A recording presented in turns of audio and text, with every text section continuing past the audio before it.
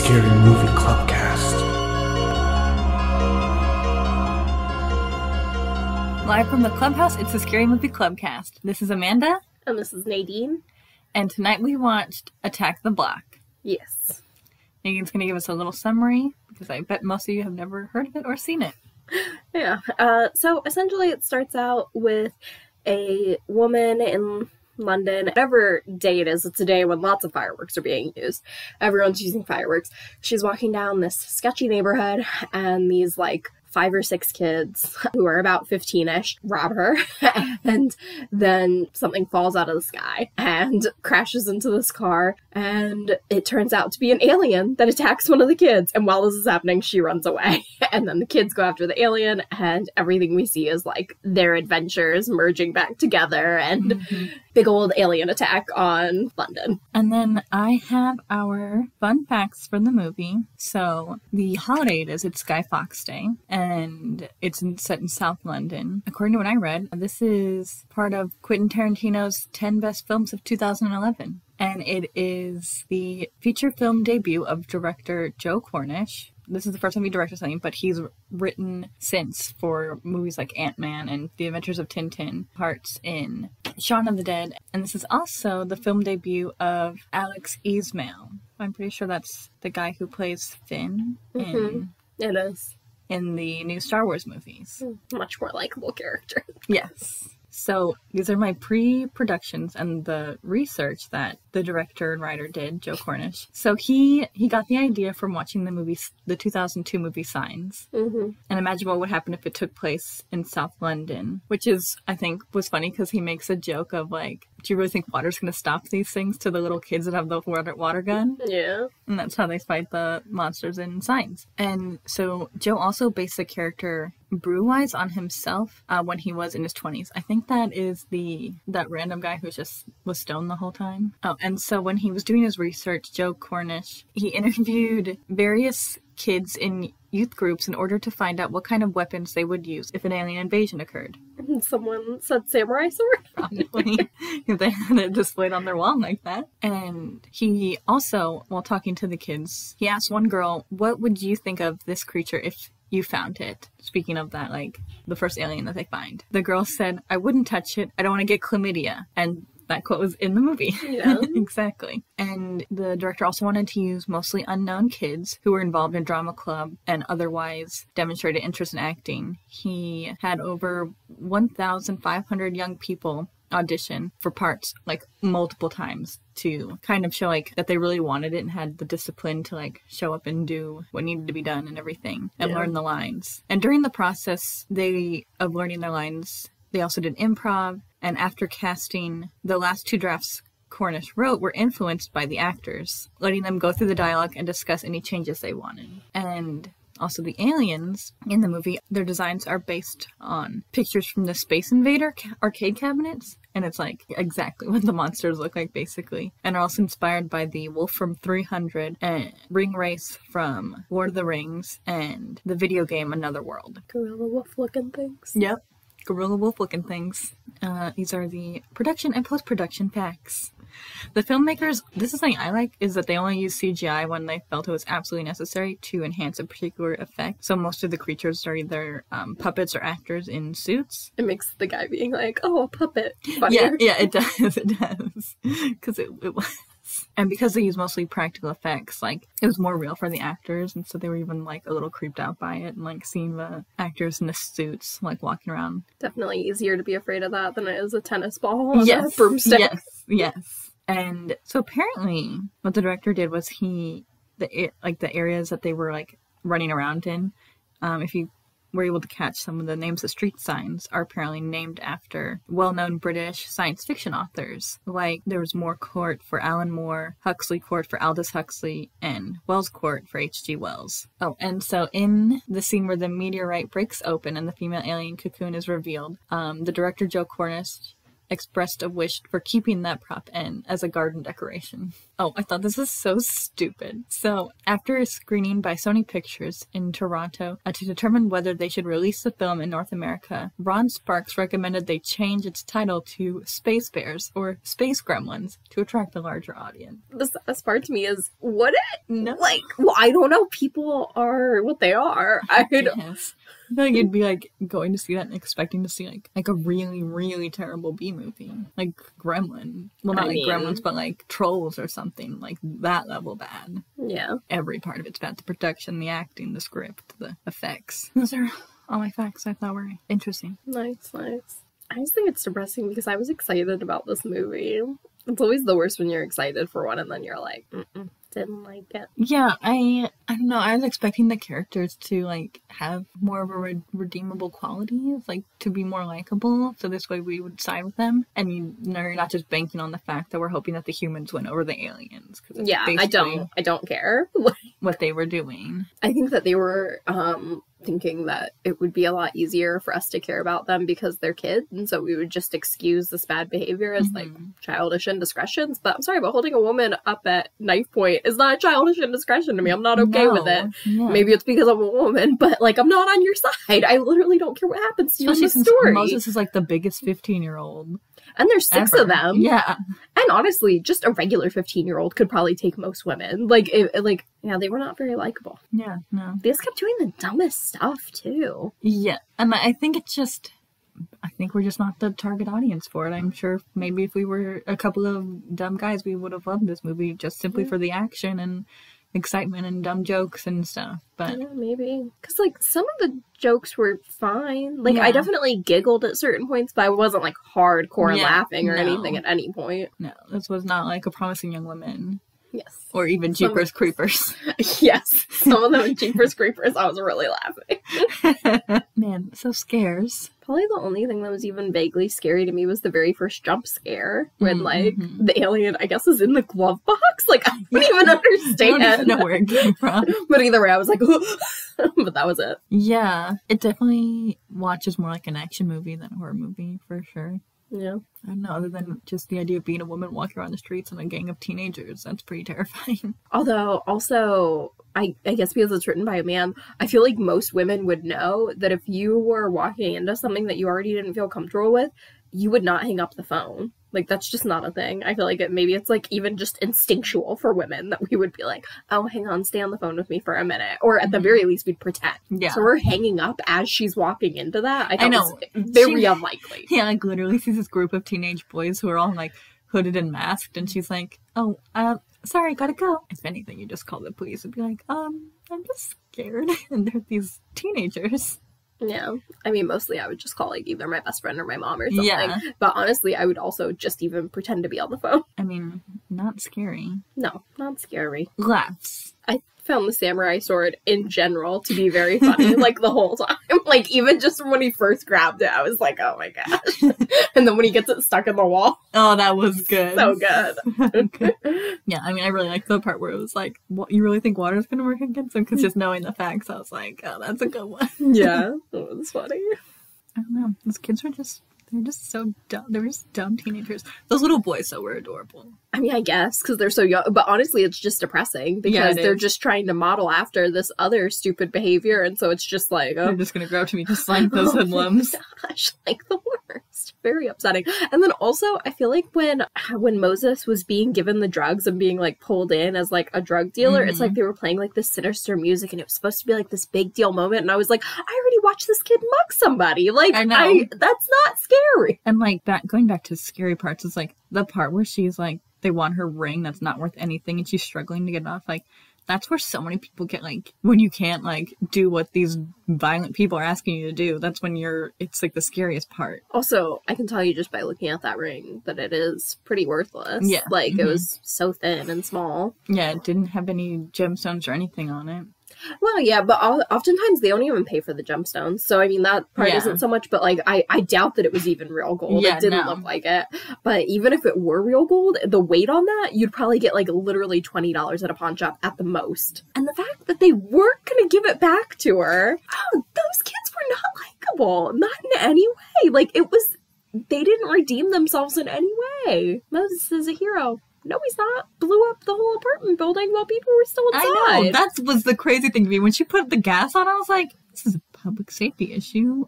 You just put everyone's lives in danger in this building. Like, the fire's gonna rage out of control. I don't care how fast the firefighters get there. Did we have any favorite parts, you think? Long pause. I mean, I don't know if this is a favorite part, but I like the fact that there wasn't like a lot of detail to the monsters because I feel like they were kind of like weird to begin with, and like if you would put more detail in them, I would have been like, this is even stupider than it already was. I liked it when Moses was being arrested. He obviously it didn't work out very well, but I was pretty hyped watching those cuffs be put on. I was so sad when that little puppy died. It was so. What was even the point of that? I don't know. Maybe they were like, "You're gonna care about this dog because it hasn't done anything wrong yet." it's just a little baby puppy. You needed to go out for a walk. Those kids were Those kids. One of them whined straight to his mama's face about how he's going to be back in 10 minutes for dinner. They all hot messes. Also, those little kids. Where are your parents? Because you're so little to still be out here. And how do you have access to gasoline? Also, that little cap gun that one kid had was very dangerous. If it looked like a real gun like that, that's how you get shot by a cop.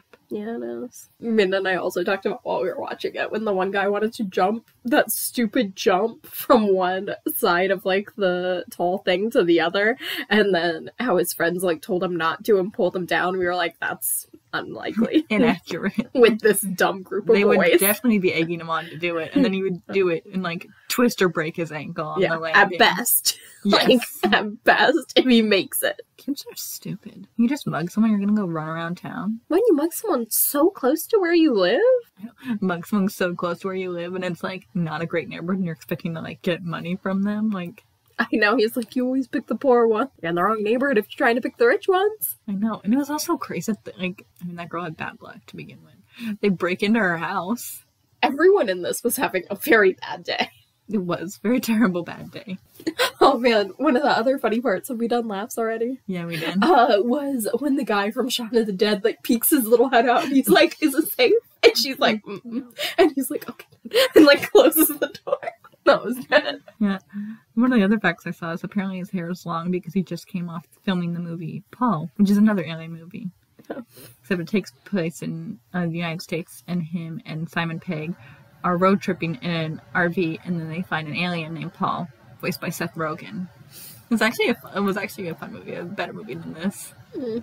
Qu- Quality story. Uh, Did we do least favorite parts? I feel like we've been talking about our least favorite parts the whole time, but I do think I did skip it.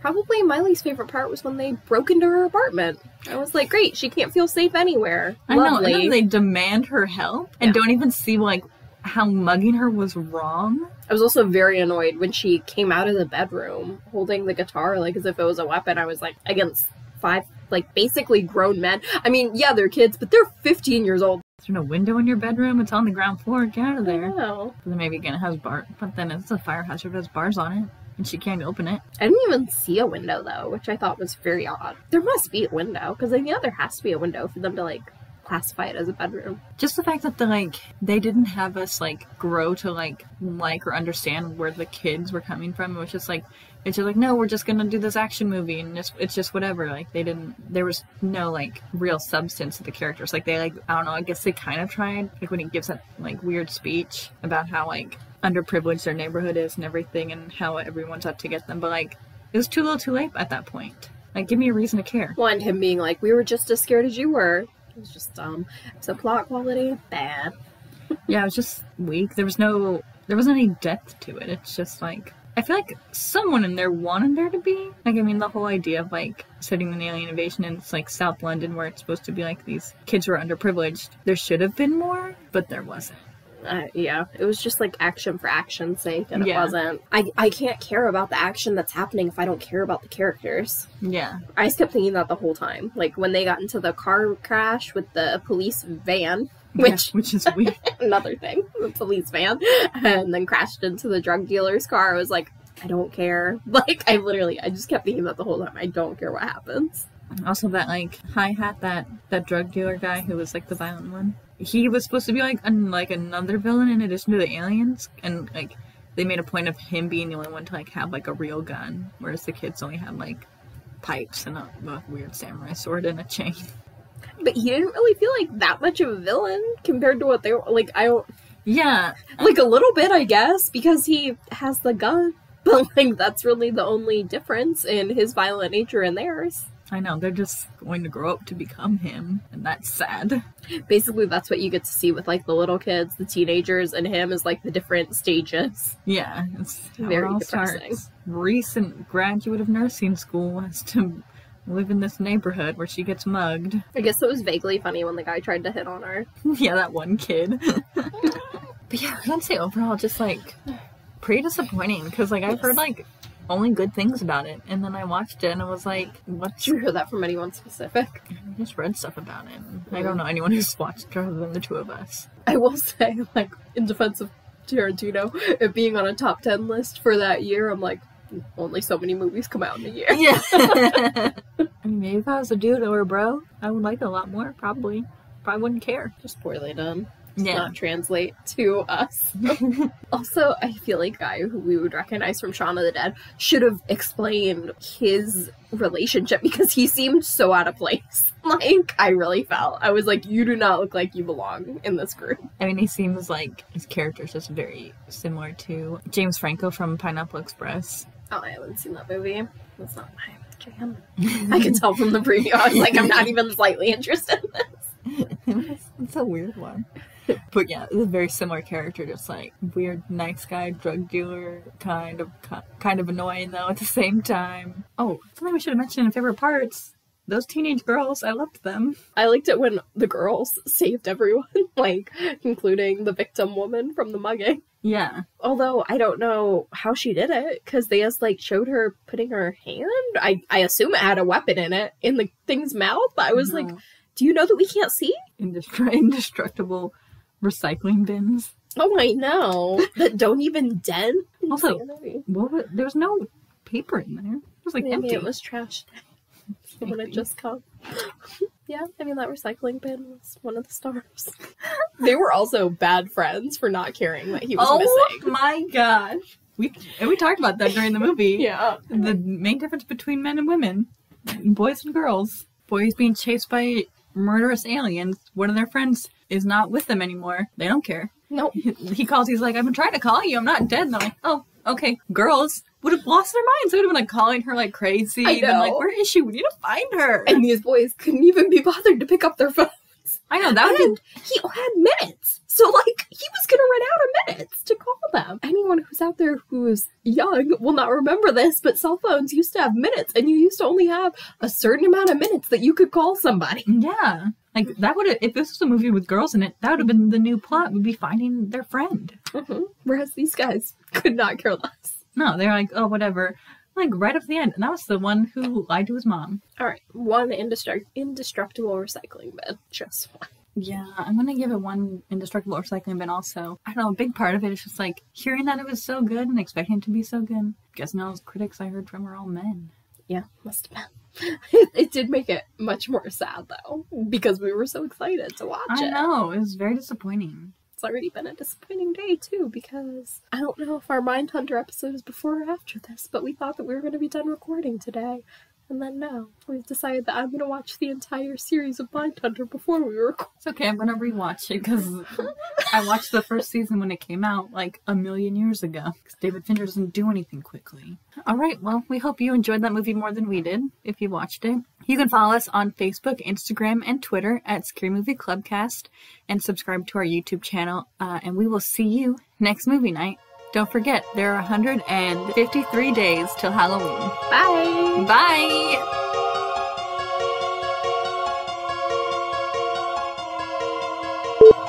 What is this? That's from when he went to the dentist to get his teeth cleaned. They had to sedate him. puppy. So they shaved his little arm. Oh, you have little black gloves on. Poor baby Peps. Or just like his like his glove just rolled down just a little bit. So it doesn't. It's so boy. cute. I love it so much. It's fashion. Tell everyone how stylish it is, Peppy. Sweet little angel. He's like, I hate the dentist. okay, what were you going to say? uh, what were we talking about? Least favorite parts? Oh Again, I think? No, we Or were on plot quality. you don't remember. no, There's nothing is coming back to me other ah, than What did I? What did I just? you said it was just action for action's sake. Yeah, and like I just didn't care what happened even when like the police van crashed into the drug dealer's car. Oh yeah, and then water comes full of gasoline because everyone's got one of those. And whenever we're deciding something to rate it out of, someone will suggest something and then you'll add it to like a full sentence. it just cracks me up. There are a hundred and I already forgot. Stupid air conditioning.